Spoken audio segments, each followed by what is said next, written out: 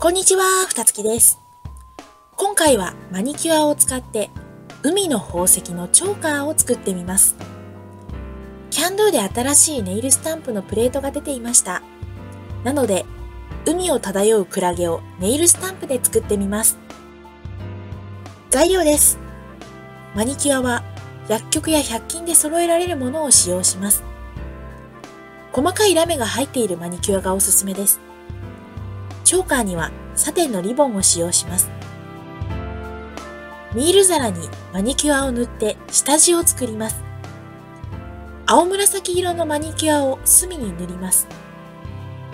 紫色っぽい色から順に青っぽい色、緑っぽい色をのせていきます。マニキュアが乾く前にどんどん色を追加していきます。ラメの入っていないマニキュアがあったので、ラメ入りのものと混ぜてキラキラを調節します。ここで一旦爪楊枝で混ぜて色をグラデーションっぽくします。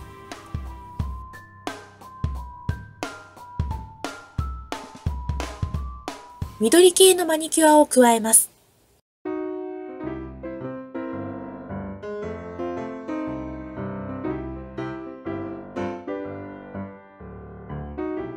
また爪楊枝で色を混ぜます。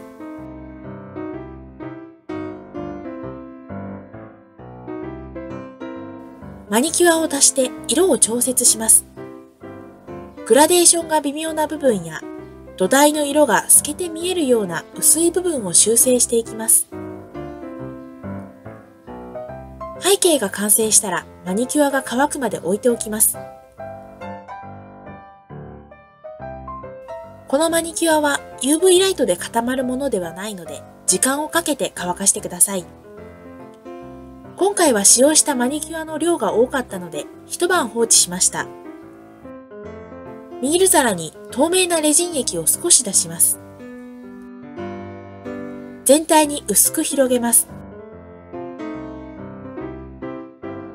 エンボスヒーターを当てて気泡を抜きます。ラメパウダーを混ぜます。海面がキラキラしているイメージにしたいので、上の方にラメパウダーを入れるようにしました。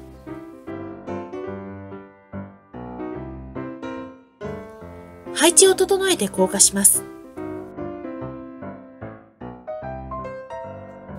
ネイルスタンプを押します。ネイルプレートを初めて使う場合は、表面の保護フィルムを取り除いてください。使いたい図案の部分に白いマニキュアをたっぷりのせます。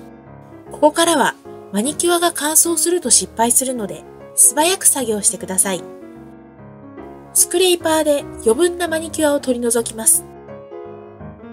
スタンパーに押し付けてマニキュアを写し取ります。写し取ったマニキュアをミール皿に押し付けて転写します。マニキュアが乾燥するまで少し待ちます。マニキュアが乾いたら、透明なレジン液を少し出します。爪楊枝で全体に広げます。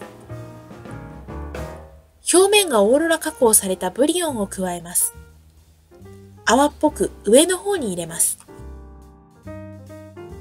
メタルパーツの人で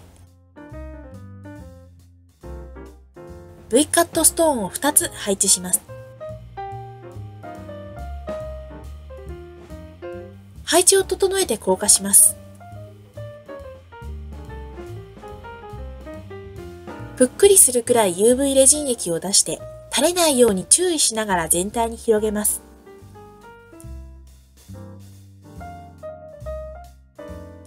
広げ終わったら硬化します。もっとぷっくりさせたいので、もう一度透明なレジン液を盛ります。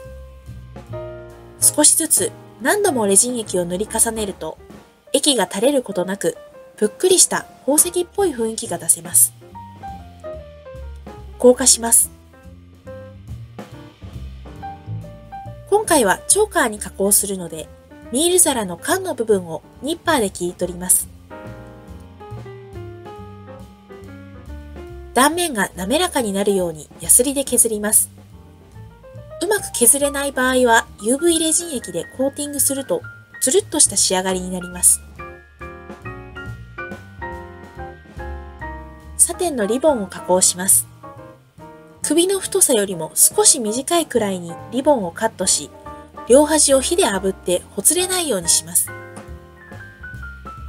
ミール皿の裏側に瞬間接着剤を塗ってリボンの真ん中あたりに貼り付けます。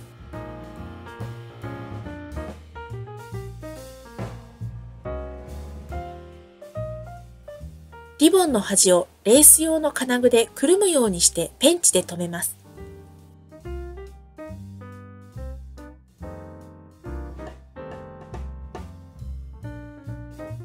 もう片方も同じようにします。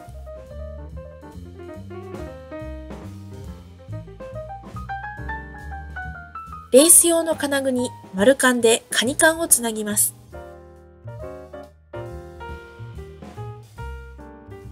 対側には丸カンでアジャスターをつなぎます。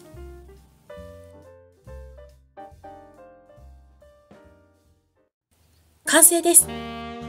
ぷっくりした宝石っぽい感じにできました。レジン液をたくさん盛ると立体感が出て綺麗に見えます。写真だとわかりづらいのですが、紫色もちゃんと見えます。今度は別の色も作ってみたいです。最後までご視聴ありがとうございました。チャンネル登録と評価よろしくお願いします。